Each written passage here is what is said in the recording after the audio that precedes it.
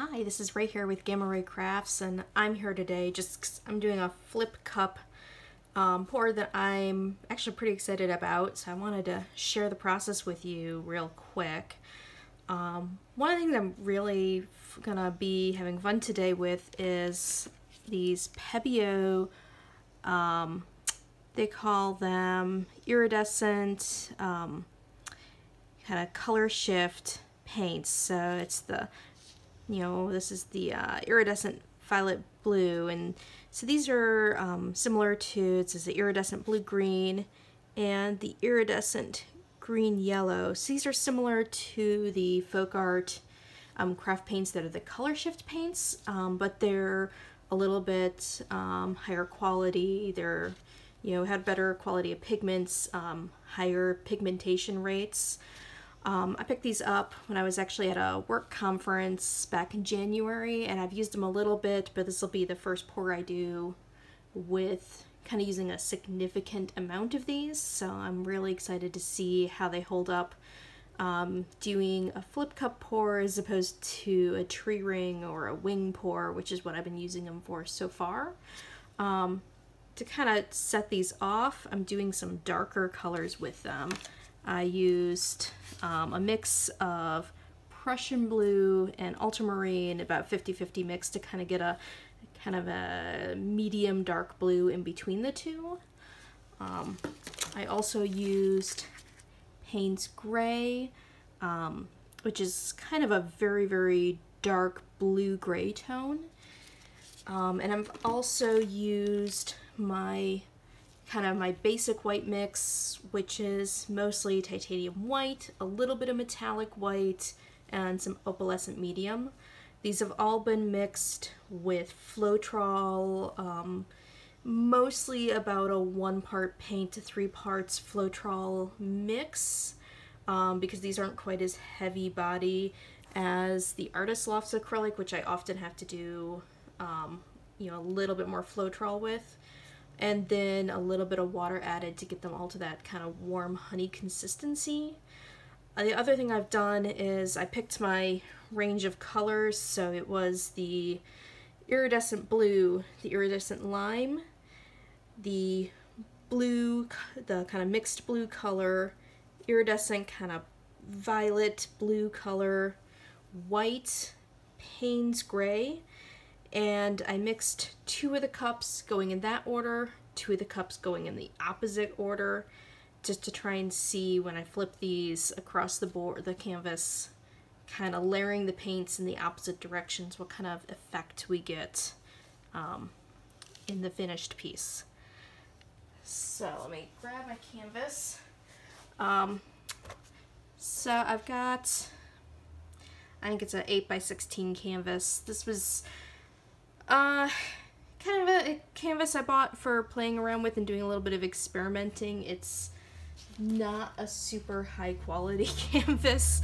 Um, it was, you can probably notice there's some little lines in the back. It was a kind of color your own canvas that I picked up on clearance that I've um, covered with a coated gesso to cover up some of the lines because I'm using some transparent pigments and I don't want too much to show through. I'm hoping not to have those colored lines peeking through my work. The couple of these I've used so far, it hasn't been a problem, but I do put a coat of gesso on there just to kind of do some initial things. And I apologize for the big um, shadow on here today. The lights I usually use for videos, one of them melted yesterday. So I need to uh, pick up a new lights. I only have one light coming in from here and my light from above, so I've got my whole camera um, casting a shadow. And so until I get a new light, I'm gonna have a kind of an unbalanced light thing going on. So hopefully I can get that fixed soon. Um, thankfully the camera just melted, or the light just melted and didn't catch fire, so that was a win. Um, so let's get these on the canvas. I should mention um, all the colors except the white did get um, two drops of dimethicone, um, which is a type of silicone. Um, I this is actually the first time I'm using this particular brand of silicone as well. I'm kind of interested to see. I've been using just the 3-in-1 silicone from the hardware store. I picked up some of the Cell Magic um, silicone oil that you can get at pretty much all the craft stores now, but it's um, a lot thicker than the other silicone oils I've been using, and I am very excited to see if that makes a difference in the cells that I'm getting.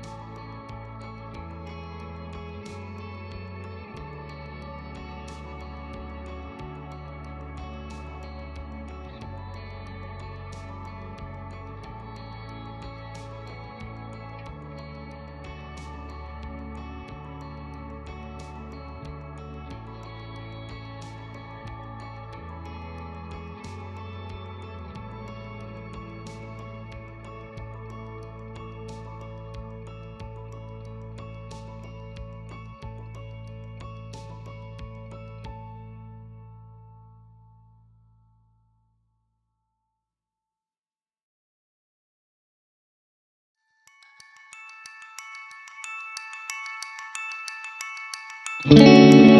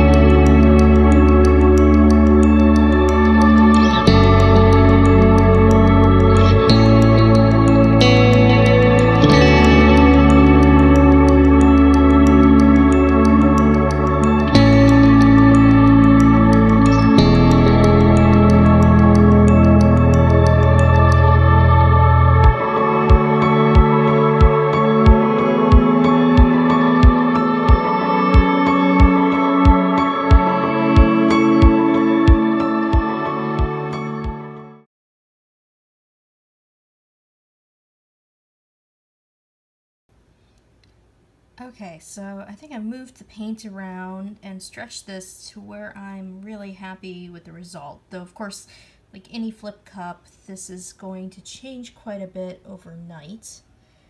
But here's the result for the moment. I'll give you some little details. Um,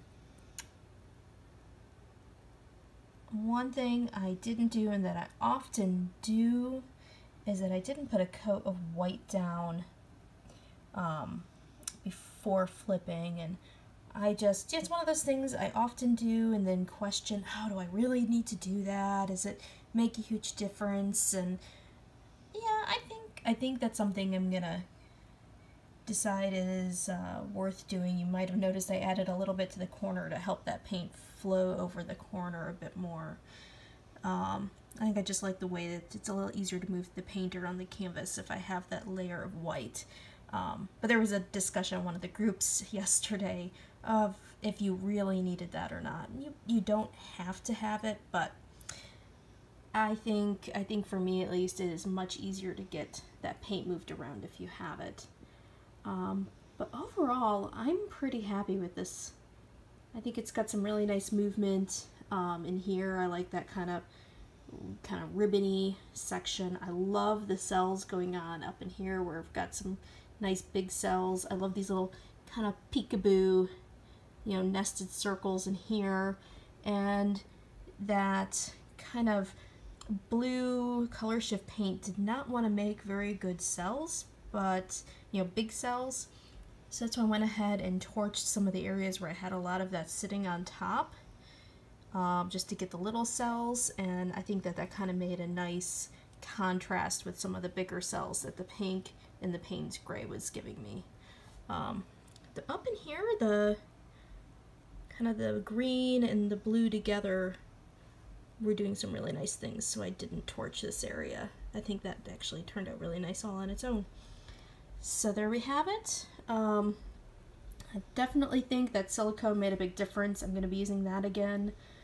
And I really want to thank um, the folks over at Pebeo who gave me some samples of those iridescent pigments. I know on the ones that I have used uh, previously, some tree ring pours with them, they have turned out absolutely amazing. So I can't wait to see this when it's dry in a day or two and get it out in the light. So thank you all.